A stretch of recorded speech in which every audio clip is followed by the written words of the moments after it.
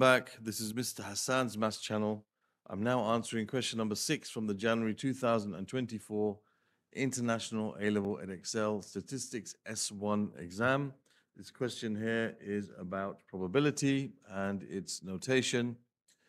And, you know, so in, in S1, we don't have to just understand the concept of probability in terms of, you know, it's in context of situations. We have to also understand a probability in terms of its notation and set notation.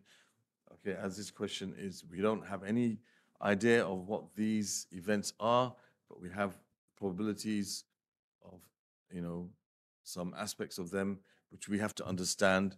So it's very important for us to understand Venn diagrams, set notation, okay, for us to be able to get the full marks for such questions. So actually, this is the beginning of the question.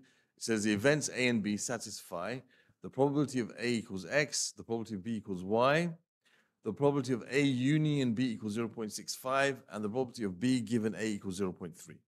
Okay, now we have to show that 14x plus 20y equals 13. So we need to have to understand, we need to have an understanding of what these things mean. We could, if we want to, just look at the formula sheet and try to fluff our way through it and bluff our way through it. And uh, you might get some of the marks actually, all right, because you know some of these questions you can just look, oh, you know, without understanding what they mean, you can say, okay, this equals that, that equals that, and so on. But it's always best, of course, to understand what they mean. All right. So the probability of I'm going to draw a Venn diagram just to illustrate what these are about. Okay. So we have two events A and B. So that's A and that's B. Okay. So we know the probability of A, which is all of this, is X. The probability of B, which is all of this, is Y. The probability of A union B is 0.65. So that means to, together they are 0.65. And the probability of B given A is 0.3. What that means is basically the probability, here we, we're making A as our sample space. Our sample space is A. Okay, so A is the denominator. So you can say that this is the same as something over the probability of A, given A. Okay, and so we're only considering A, and we want to find the probability that B exists. Okay, the, the part of B that's in A only. Okay, so we're going to find the probability of the part of B that's in A only. So we have to take this section here, which is the, the intersection of A and B. Okay, because if we're looking at A as our sample space, then the probability of A intersection, the probability of B given A would be just this part here, which is the probability of B intersection A or A intersection B, same thing. So that's what this means. The probability of B intersection A, B given A is equal to this. Okay, so we can think of this as the probability of B intersection A over the probability of A is 0.3. You can think of these as the same thing, right? And um, what we should also know is, just get rid of this and put it back again. What we should also know is the following that the probability of A union B, which is the probability of all of these together, is equal to the probability of A plus the probability of B. Now, the problem with this is we've counted all of A and we've counted all of B. So we've counted this space twice, so we take away the probability of the intersection between A and B, what's common to them. Okay, so this is an important formula. This is an important formula. The probability of B given A is equal to this.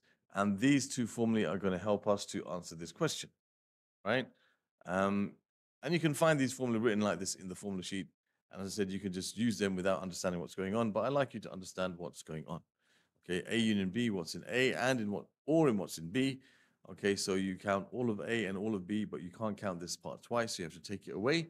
And that will give you what's in these two circles without any repetition. That's what that means. A or B. So now uh, we can now put some numbers to this. So if I use this first one, we have 0.65 is equal to the probability of A, which is X, probability of B, which is Y, minus the probability of A intersection B. Now we don't know A intersection B, okay, but we can find it. So I'm going to write it as this for now. Now I can use this formula. The probability of B given A is equal to the probability of B intersection A, which is the same as this, A intersection B, over the probability of A. Okay, now what I can do is I can rearrange this formula. I can say that the probability of B intersection A, which is the same as A intersection B, is equal to the probability of A times the probability of B given A. And we know the probability of A is given by X, and the probability of B given A is given by 0.3. So this is going to be 0.3 times X. So now I can put them together. This is now this can be replaced by this because they're the same. Okay, so now we can proceed and hopefully get the equation required.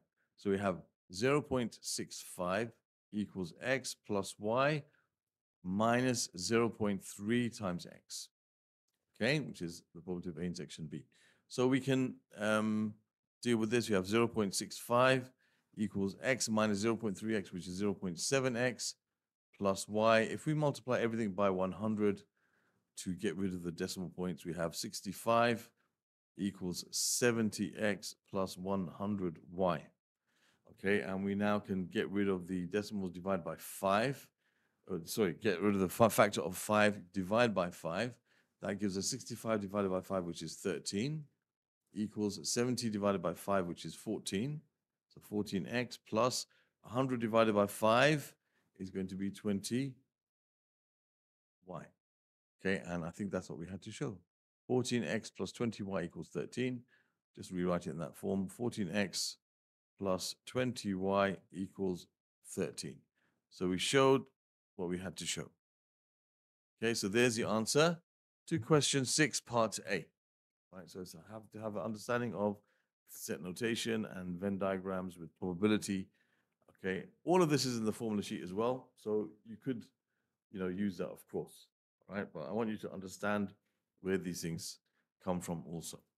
Now, six, part B says the events B and C are mutually exclusive. Important concept here. Such that the probability of B union C is 0.85 and the probability of C is a half x plus y. Find a second equation in x and y and then hence find the value of x and the value of y. Okay, so the mutually exclusive part is important. What that means is that they cannot occur at the same time.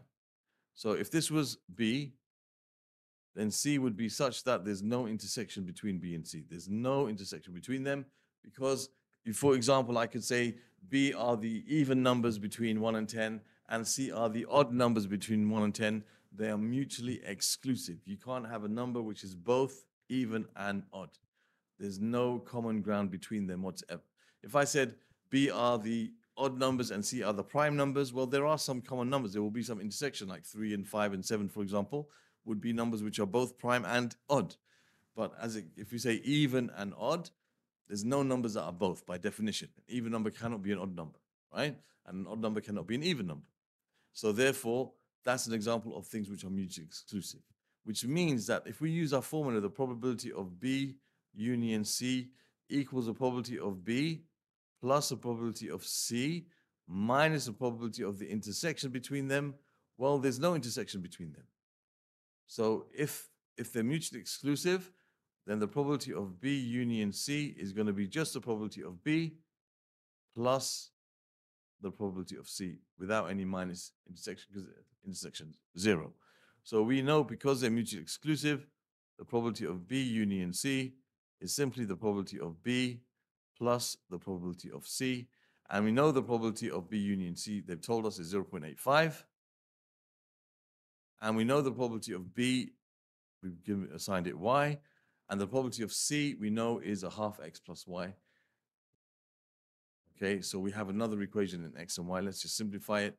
This you're going to have 0.85 equals, that's Y plus Y, which is 2Y plus a half X or half X plus 2Y. Um, let's simplify this by um, multiplying by, I guess, 100 again. If you multiply by 100, this would become 85 equals 50x plus 200y. Again, let's divide by 5. 85 divided by 5, that goes, 5 goes into 8 one time, remainder um, 3, so that's going to be 17, okay, equals 10x plus, and that's going to be um, 200 divided by 5, that's going to be 40y. 40y. Okay, that's right. Okay, good. So we have our second equation is 10x plus 40y equals 17. 10x plus 40y equals 17. And our first equation was, we had before, okay, 14x plus 20y equals 13. Okay, so we have uh, 14x plus 20y equals 13. Equation 1, equation 2. So that's part 1 is what we just did now. Okay. And part 2 is hence solve the equation. So what we're going to do now is solve this equation for x and y. So we can see here we could use um, elimination. We could multiply the second equation by 2, in which case we're going to get 28x plus 40y equals 26. And our first equation is 10x plus 40y equals 17. So we can subtract these two equations to get rid of the y term. So that's going to be 14y, 14x, sorry, this becomes 0 equals 26 minus, so that's not 14, that's 18. 28 minus 10 is 18x, that becomes 0, and that's equal to 26 minus 17, which is 9. So that means x is equal to 9 over 18, which is a half. So we know x equals a half. And when x equals a half, we can find what y is. Um, we could use any of these equations. Uh, let's use this equation here. We know that 20y is equal to 13 minus 14x. So we have 20y is equal to 13 minus 7. Okay, so we can say y is going to be that's 6, 6 over 20, which is uh, 3 over 10. So y is equal to 0 0.3. Okay, so x is equal to 0 0.5 and y is equal to 0 0.3. Those are the values of x and y. Okay, so we answered question part B. Now,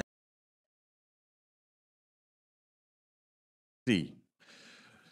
So it tells us to determine whether or not A and B are statistically independent, you must show you're working clearly. Now, I can see that there are two ways of us doing this. Um, basically, when they are independent, what we should know is that the probability of A times the probability of B will be equal to the probability of A intersection B if they are independent. Independent. Okay. So what we could do is we could work out the probability of A intersection B quite easily because we have enough information. And then we could find that, you know, is the probability of A times probability of B the same as that? So let's do that first. Okay, we can see that the probability of A times the probability of B gives us 0.5 times 0.3, which is going to be 0.15. So does that give us the same value as the probability of A intersection B? Let's have a look. How do we find A intersection B? Um, well, we can find it in a couple of ways. One way is we can say that the probability of A union B is equal to the probability of A plus the probability of B minus the probability of the intersection between A and B. So we know that this is 0.65, and we know that this is 0.5, and this is 0.3 minus the probability of A intersection B. So we can see here that we're going to have um, if we rearrange this equation, okay, we'll add this to both sides. We'll have the probability of A intersection B is equal to 0.8 minus 0.65, and that gives you 0.15. Okay, so we can say, therefore, the probability of A times the probability of B is equal to the probability of A intersection B. Therefore, A and B are independent let me just write that a bit neater, are independent. Independent. Okay, so they are independent because of this fact. So that's one way of doing it. Okay, there's also an easier way of doing it actually, because what we should understand is that the probability of A given B, which is what we have. So we have the probability of B given A. We're given the probability of B given A. Okay, we're told that in the question here is equal to 0.3. Right? So we know the probability of B given A is the probability of B intersection A over the probability of B. Okay? Uh, Sorry, over the probability of A. This is the sample space over the probability of A.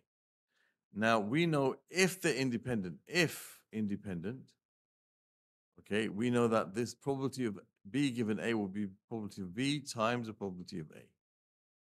And that's over the probability of A. They cancel out, and that leaves you with the probability of B. So if they're independent, if independent, then the probability of B given A will be the same as the probability of B. And we can see that in the question that is true. Okay? And we can see that, uh, you know, the probability of B given A is given as 0.3. And we found the probability of B is 0.3. Therefore, they are independent. So this is probably an easier way in this particular question of proving that they're independent. Okay, so if they're independent, then the same rule applies that the product of their probability is the same as their intersection, which leads us to this conclusion that the probability of B given A must be the same as the probability of B, because these cancel out, you see. And we see that that's true, so we can also solve it from that angle. So there's two ways of proving this, um, and I hope that was clear. So that concludes this particular question. Other questions from this particular paper can be found in the playlist that will appear in the region of the screen over here at the end of the video. Other questions from the topic of um, probability and Venn diagrams and notation you can find in the in the playlist over here. You can subscribe to the channel by clicking on this link, and the video here will take you to um, a or the, the link here will take you to a video which will show you how to use my channel to find what you're looking for. Thank you for watching and see you soon.